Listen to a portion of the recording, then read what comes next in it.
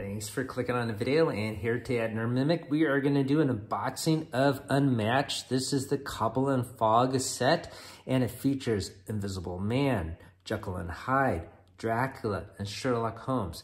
This set came out three years ago in 2020 and we have a couple other Unmatched sets within the uh, library here at Nerd Mimic. Uh, it's basically the Marvel sets, including Deadpool. And I heard this one was going out of print or they're not going to publish anymore for a while just to get the other sets uh, sold and more popular. As apparently this one is doing quite well, quite re well received and we thought we'd give it a try before it goes out of print uh, for this generation, I suppose. So let's check it out. Uh, let's flip it to the sides and it's gonna have some unique art on the side panels of each of the four main characters here. Pretty nice. And we'll flip it to the back. And you can see it comes with four miniatures that are gonna be washed, but I'll get it painted.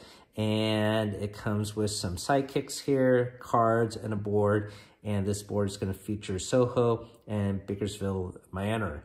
Uh, now, part of the reason why I never got this initially was I know it has these sidekicks, and I always thought it was a little bit strange that they have miniatures of these uh, main heroes, but you don't have a miniature of Dr. Watson who comes with his own health dial, just like Sherlock Holmes. So I always thought that's a little odd and put me a little off. And that's why I got some of the Marvel sets because I knew uh, some of the sets that I obtained, they didn't have sidekicks like, like this. And so, um, so I put this off for a bit. But once again, it's going out of print or they're not going to publish it for a while. And this one's still highly well received. And we thought we'd give it a try for the channel. All right, so let's get this box open. And while I do so, if you're new to the channel, if you like what you see, hopefully you can consider subscribing. This certainly helps our channel grow up to a thousand. So thanks for listening to that. And almost got the shrink off.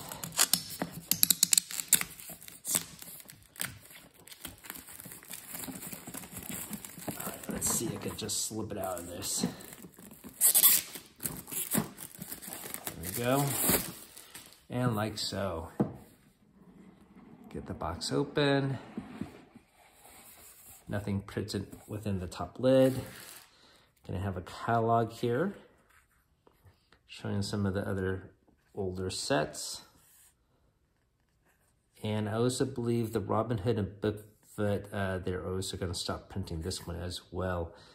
Okay, We'll set that catalog off to the side. Of course, there will be a rule book. As you know, this game is uh, pretty simple, but very strategic and um, quite popular for a skirmish game. If you've never played it before, certainly I would highly recommend it. Uh, from what we tried of the Marvel set, it's quite fun and it's uh, quite engaging. So, of course, you're going to have a content page, how to play, setup, some examples of how to do a turn, actions to scheme, to attack, to booster cards. And here's the health dial that was alluded to earlier, combat example, and special rules for this uh, set. So I guess there are going to be some secret passageways on the game board. Invisible Man can institute some fog tokens, it looks like. And team play here. So short rule book, once again, uh, they've had this down to a science now, this uh, match set. And here are some of the cardboards to make the health dials. We'll put that together in a bit. Here is the main board. So this would be Baskerville Manor. And all these different colors denote different zones. And on the flip side would be Soho. All right, so let's set the board to the side. Now, here are some plastic tokens, and these will be, I presume, Dracula's sisters. And you can see the plastic insert for this game is really nicely done. Uh, inlays for the miniatures, and you can see the titles. Uh, they're sort of raised and engraved looking, and it's really cool. And these plastic tokens would probably go into these wells here. These plastic bits are to hold the uh, health dials together. And of course, each character is going to have a unique deck. So once again, this game is three years old. I, I think most people have probably seen these uh, cards before, but if not, this is Dracula. He does a melee attack, moves two. And let's see Sherlock Holmes here. He also does melee attack, moves two. Um, and in the middle here is their special ability. You can see Dr. Watson, he actually does range attack, probably has a little handgun. Invisible Man. Also a melee character, moves two. Special abilities listed there. And he has a health of 15. Sherlock Holmes, 16. And Dracula, only 13. Interesting. And Jekyll and Hyde has a health of 16 as well. Melee character moves 2. All right, but let's take a closer look at these minis. Sherlock Holmes.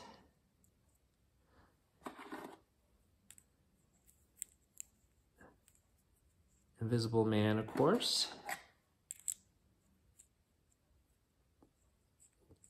Jekyll and Hyde. Oh, I'm sorry. This is uh, Sherlock Holmes. So this must be the vampire, Dracula. All right. Now through the power of through the power of uh, time-lapse uh, uh, photography and editing, we're going to get these painted. So here's the whole gang all painted up. Uh, really nice sculpts on each of them. Let's take a closer look here at Sherlock Holmes first. And you can see he is sporting a trench coat. He's ready to do hand-to-hand -hand combat, all the while smoking his little pipe that you can see. A lot of fun to get him all painted up. Behind him is the Invisible Man. Beautiful sculpt. You can see how his hat is sort of hanging on there on the collar. And also his hand here, his invisible hand is holding a cane. Beautiful, well done sculpt. Definitely better than the one in Horrified. And of course, Jekyll and Hyde here. Got this flask here with a green potion and solution in there. And you can sort of see him turning into a, a monster. And he got uh, an axe ready to go. And of course, not but not least, is Dracula here with monstrous fangs. A very dapper looking fellow. Okay. So, once again, those are the four figures within the game, all painted up. And I suppose we should put them back in the box, see how they look. Okay, we got all of our heroes resting in their associated slots, and we got the plastic tokens in their wells. Uh, Dr. Watson, once again, is a plastic token, not a miniature, and uh, sort of a pet peeve. I, I, don't like this uh, idea, um, but anyways, it is what it is. Let's take a closer look at the Sherlock Holmes deck here. Uh, his special ability is effects on Holmes and Dr. Watson cards cannot be canceled by an opponent. Effects on any cards can be canceled. And then his action cards here. Let's see, you got to counter punch, feint, as most characters do. Confirm suspicion. Choose an opponent, name a value. Your opponent must choose and discard one card matching that attack or defense value. Hmm, powerful. Holmes, action, eliminate the impossible choose an opponent, look at their hand, and choose one card for them to discard. Feint, elementary. Play this card face up. Predict the printed attack value on the opponent's card. During combat, if you predicted the correct value, cancel all effects of the opponent's card in order to attack value. Pretty cool. So this game is really strategic and uh, definitely of benefit to know the other player's deck, um, which uh, I have learned from the other set. So th this is no exception. Uh, this might be his more powerful card. We'll see in a bit. Attack of five. Or this is for Dr. Watson, actually. Study methods. After combat, if you won the combat, look at your opponent's hand. Deduce strategy. During combat, you may change the printed value of your opponent's card to its boost value. Interesting. Oh, here's a power card for Holmes. Attack value of 5. The game is afoot. After combat, move Holmes up to 3 spaces. Education never ends. After combat, if you won the combat, your opponent draws one card. If you lose the combat, you draw two cards. Ah, interesting. Come for suspicion again. Master of Disguise. Choose an opponent. Home swap spaces with their hero. Deal one damage to that hero. Fix point in changing age. After combat, if Dr. Watson is adjacent to Holmes, each recover one health. Ah, that's pretty cool. Counter punch. Another feint card. All right, so we've seen most of these. Administer aid, Dr. Watson. Scheme card. Place Dr. Watson in a space adjacent to Dr. Holmes. Holmes recovers one health. Draw a card. So that's pretty helpful. And Holmes is, uh, has a lot of health to start off with, 16. Okay. All right, so that looks like his entire deck. As I mentioned, his health, starting health for Sherlock Holmes is 16. Here's the back of the dial. And once again, Dr. Watson has his own separate dial. He starts at 8, and that's the back of that dial. All right, so then we set this back, and we'll look at another deck here. And I suppose we will move on to Dracula here. And he has three vampire sisters that ate him. They all actually have a different portrait. I should show that off, I suppose. There you go. And while I have that out, might as well take a look at his dial. And he starts at 13 health. They always do very cool designs on these dial. Okay, so let's go back to his deck.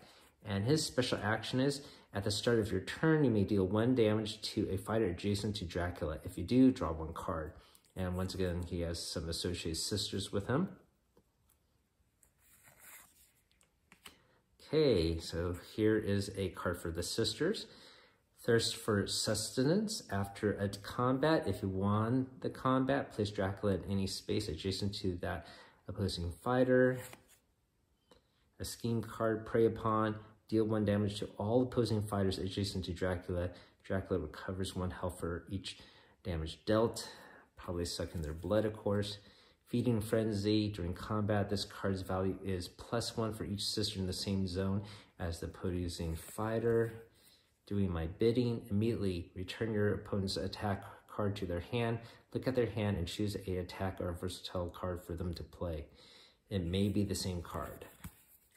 Another feint card, do my bidding, return your opponent's card back to the hand. And I think, yeah, that's what we just read before. Raving Seduction. Move any fighter up to two spaces. After moving, deal one damage to the moved fighter for each sister adjacent to them. So obviously with the sisters, you want to surround your opponent Ambush. During combat, your opponent discards one random card at its boost value to this card's attack value. Prey upon, ambush, look into my eyes, add the boost value of your opponent's attack card to the defense value of this card. Baptism of Fire here, recover two health. Return a defeated sister, if any, to any space in Dracula's zone. So this might be pretty powerful at the right time. Dash.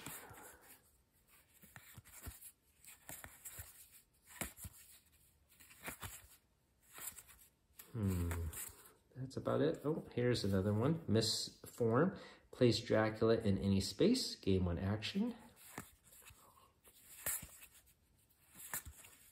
So there appears to be a lot of movement cards here. So maybe that helps him surround an opponent. Look into my eyes again. Beast form. During combat, you may discard any number of cards from your hand. This card's value is plus one for each card you discard.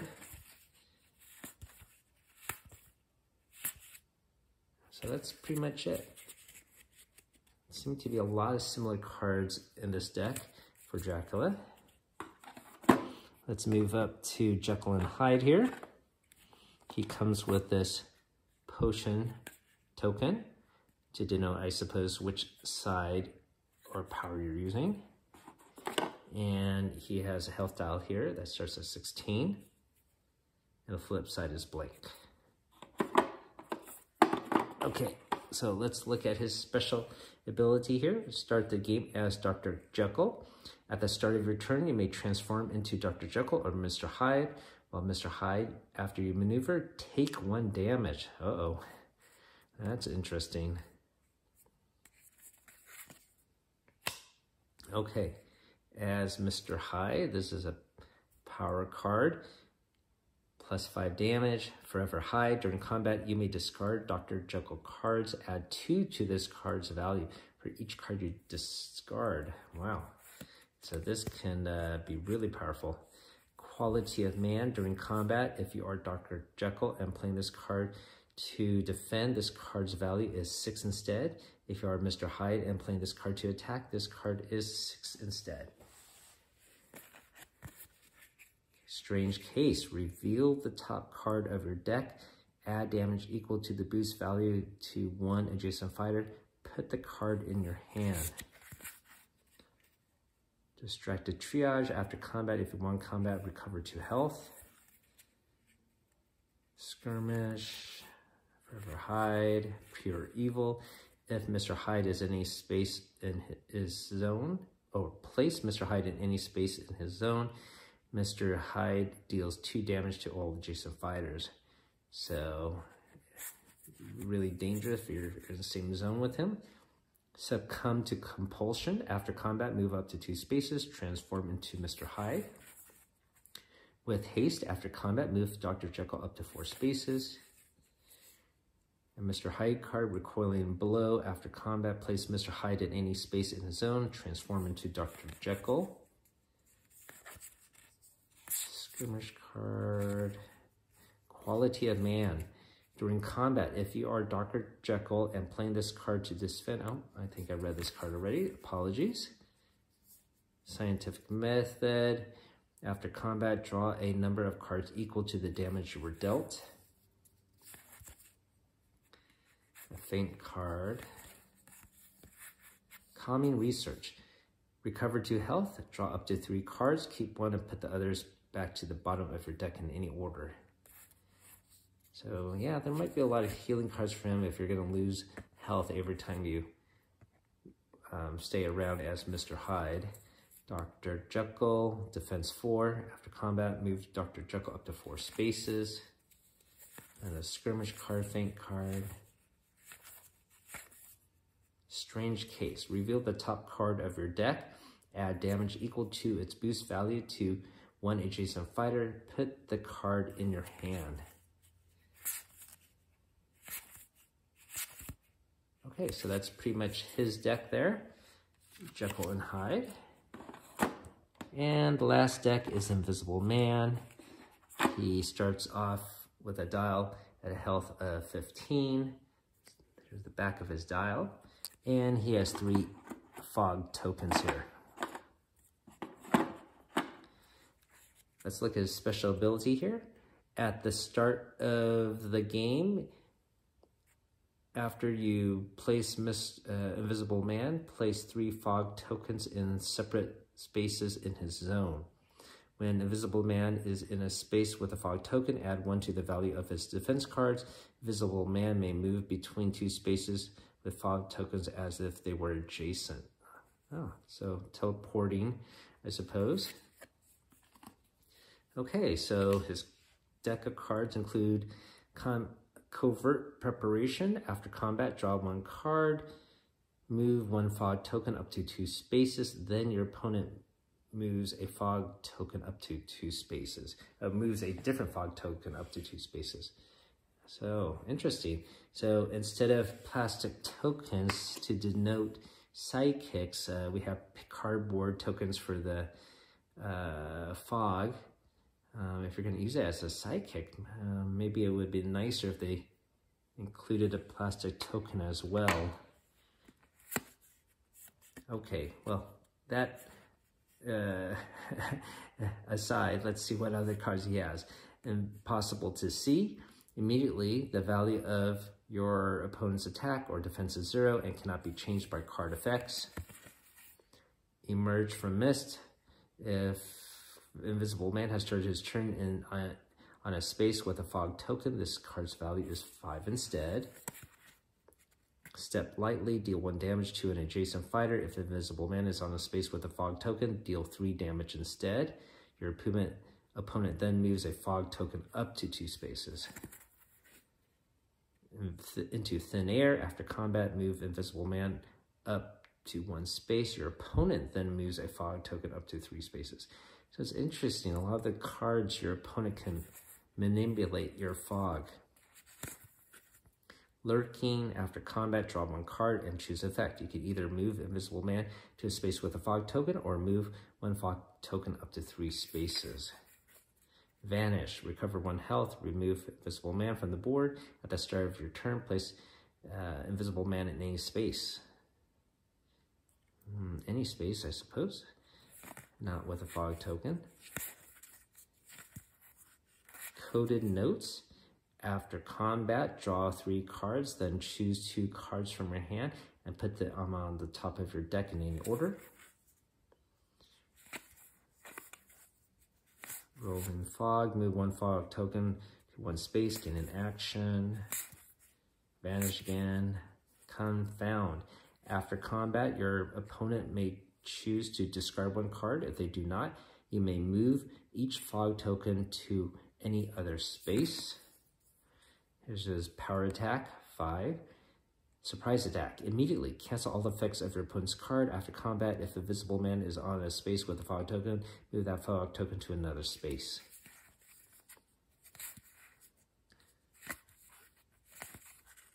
Dreaming of Revenge. After combat, if Invisible Man is on a space with a fog token, all opposing fighters on spaces with fog tokens take one damage.